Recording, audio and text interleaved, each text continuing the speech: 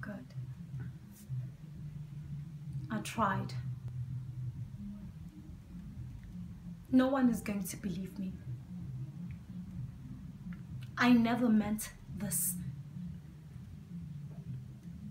I was going to stay a virgin. I told him no.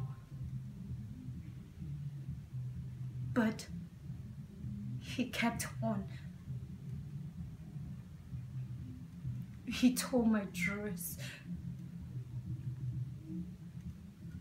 He hurt me. That was the only time. It'll never happen again, believe me. Yes. I told him no. I cried. I begged him. But, but at the time, he wouldn't listen.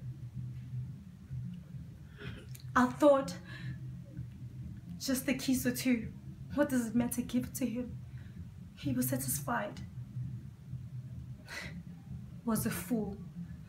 I should have kicked him, jumped out. No, no, you can call it rape, but I can't go to the police like he's a criminal.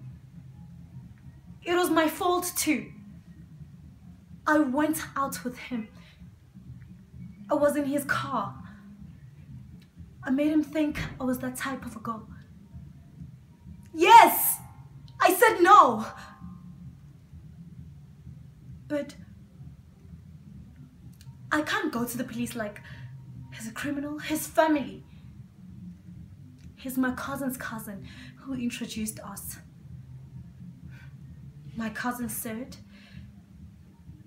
he was lonely and if he didn't find a wife who's a citizen, they'll go to chase him out of the country.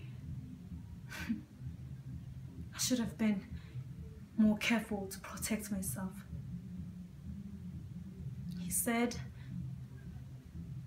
if I tell my parents, if they, if they find out, they'll force me to marry him.